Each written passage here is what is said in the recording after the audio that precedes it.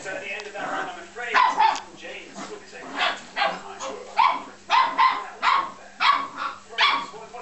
First one under the sofa.